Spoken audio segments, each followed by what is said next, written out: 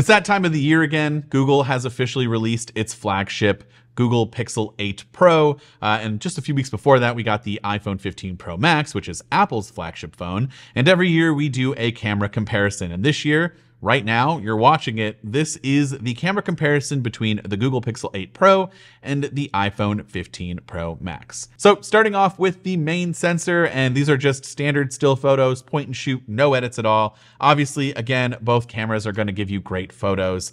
Uh, this is kind of always true with flagships, as we've said here in 2023, uh, but both phones do have some stylistic changes, some different color profiles, and just some differences overall. And so with Skylines here, this is where I've noticed this kind of category, the iPhone does produce some better HDR. We have better dynamic range. Uh, there's more of a natural look to the sky, and when it's really clear out there, like you see here, there are no clouds whatsoever, you do get a pretty balanced photo for the most part. However, the Pixel, it does kind of add its own thoughts on what the sky color should be. So here we have a much more bluish hue to the sky compared to the iPhone, which kind of has like it almost seems like it's being overexposed and just like too much dynamic range, but that's not the case because honestly, when you ask me which one is correct, this sky was kind of a mixture of both. It was a little bit white like what we had here, but not nearly as blue as what we have with the Pixel. It was a little bit of both kind of blending together. So gonna have to pick which one you think you like the most.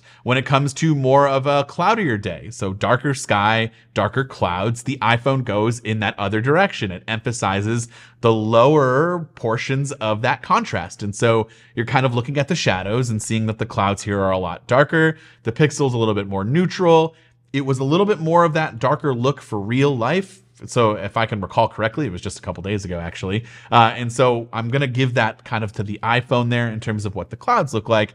And the rest of the photos are kind of the same. There are two different color temperatures going on for most pictures. The iPhone also tends to oversaturate a little bit. Here we have some taxis I mean, the taxi was not nearly as yellow as it is in this photo with the iPhone. It was definitely more in line with what you got with the Pixel, so that was a little bit more natural, but I kind of liked the more saturated look of those taxis and being a little bit more of that darker, more saturated yellow. Again, there were no edits made. Each phone does its own computational photography differently, and so this is what we get. Um, and that's, again, you're gonna see a lot of these photos here that this is just kind of what's happening.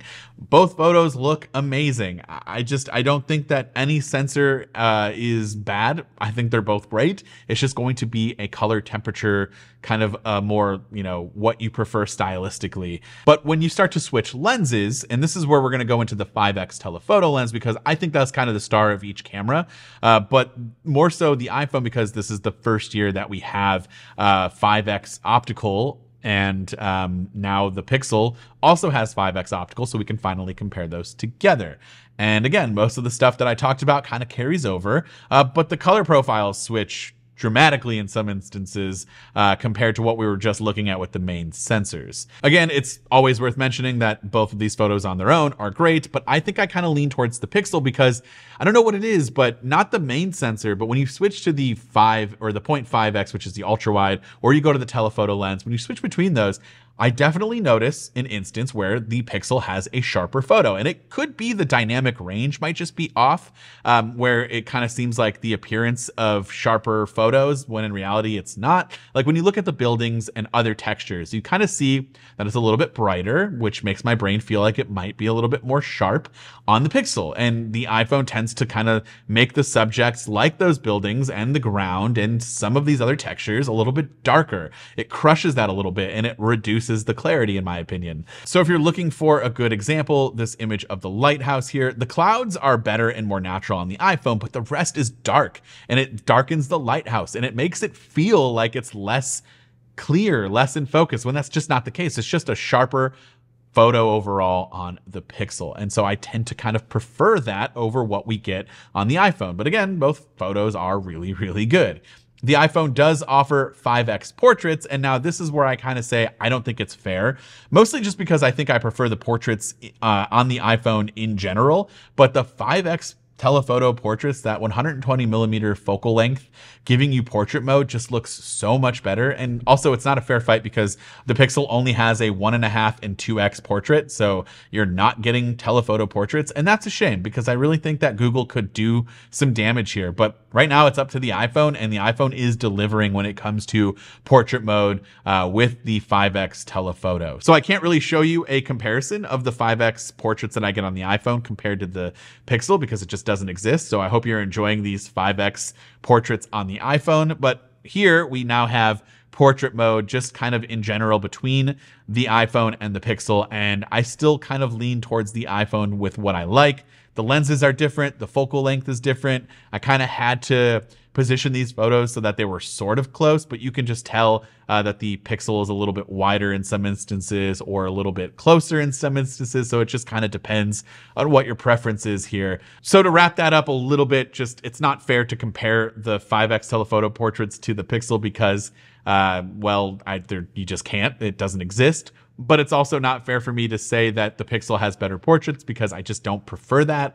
And also, when I do portraits on the iPhone, I'm almost exclusively trying to make it work with that 5x telephoto lens because I just think it's the better lens. When it comes to night photos in general, obviously with the portrait here, I really did like the portraits coming out of the Pixel, but in just other lower light situations, uh, I do lean the iPhone here because um, it doesn't bring up the shadows as much as the Pixel does. So you do get a much brighter photo. It does a better job on the Pixel to make a dark situation brighter, but that doesn't always make the photo better. And so that's a quick explanation.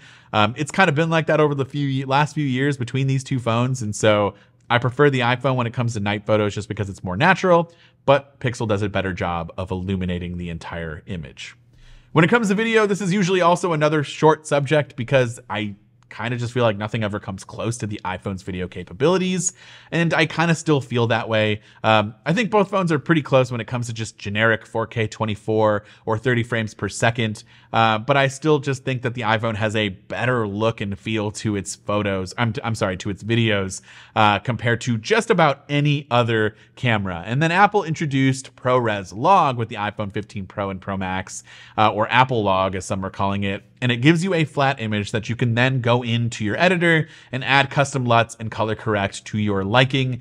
And that's not going to be something that everybody here watching this video will do, but I really like that. And so I am biased towards the iPhone in that sense because I can take more control over what my image looks like with my videos, make it feel more cinematic than what you can with Google's videos. But when it comes to just standard point and shoot, they're both fine in terms of the image point of view, but I just kind of still feel like I like the video quality more on the iPhone. Um, and so that is our main conclusion when it comes to the camera. Um, again, it's been a week. I haven't taken nearly as many photos as I would in the next like few months. So maybe if you want a long-term review, we can do that. But I think the photos on both phones are great. It's been like this for years. It's kind of always like this when you pin it up against each other. I think I'm now leaning towards the iPhone as just the overall better camera system, especially when you tie video into that. Uh, and again, I'm in love with the 5x portraits that you get. So in my opinion, I'm just leaning towards that at the end of the day. This is definitely not a biased thing because how many times have I gone with the Pixel? I just think now it's Apple's time to shine just a little bit more. However, there are features that the Pixel has that the uh, iPhone does not have and Apple just does not currently offer, at least built into its own system. You can probably download an app that might come close, but I don't think that's what we're trying to accomplish here. So if you're on the fence, uh, maybe these AI features from Google will actually help you sway your opinion one way or another, because I think it kind of makes me wish that I could do this on my iPhone. So the first one is called Best Take. And if you're a parent out there who's tried to take pictures of your kids and get them all to look at the camera at the same time, you know that this is usually impossible unless they're having a great day in which they're all listening and smiling and looking at you. But nine times out of 10, that's not happening uh, at the same time for one specific photo. It's always a hodgepodge collection of kid A is smiling, kid C is not, kid B is not even looking at you. Well, in this best take feature, you can go into your tools, click on best take. It'll gather all of those similar images together. And then you'll have the ability to go here at the bottom and click on each kid's face and find the best you know, facial expression that they offered in those collection of photos and magically change it so that everyone in the one photo is actually uh, making a good face and quote unquote giving you their best take. And I tried it out with my kids here. It's not a great photo by any means. I kind of specifically wanted to catch them at a crazy time, which is always usually right before bedtime. So they're getting ready to go to bed. And you can just see here that no one's paying attention in any of these images. But if I turn on best take, you can see that I can now change the face of each kid so that it looks like they were all just listening to my directions and smiling. And that's amazing. There's also another amazing feature here called Magic Editor. Now, Google has had Magic Eraser for a few years where you can kind of remove things and, you know, depending on what you're doing, you might not get that weird blur that you definitely removed an object, but you know, you can see the limitations of Magic Eraser, but with Magic Editor, you can remove an entire car, an entire person that might be covering up another object, and it'll use generative AI to fill in those spots without making it look weird or like blurry or just distorted. So generative AI can now fill those spots where an entire car might be, or in this case, I have my sunglasses specifically on the table and I want it to be removed, but I don't want the table to get that warped look to it. I want it to be a natural kind of bamboo or oak or whatever this material was. I don't remember, but generative AI, I just tap on the sunglasses and it removes it and adds in this perfect image of what the table might have looked like underneath those sunglasses. And also in the example that Google showed me during the event, you can see here, uh, there's this little girl on a beach. Uh, we can tap on her, go ahead and resize her, put her in a different part of the photo to make it look she's like more front and center than in reality where she was kind of in the background. We now put her in that foreground, generative AI fills in the rest of it, and we can then go ahead and change the skyline, make that a golden hour look. We can change a lot to the photo. In reality, it might be a little divisive of a conversation because you're kind of blurring the lines of like, well, that picture wasn't natural, so is it really a good photo? That's up for a different conversation for a different day. But I just think that if you are in a pinch and you want that picture to be a little bit better, you can make some pretty some pretty crazy changes.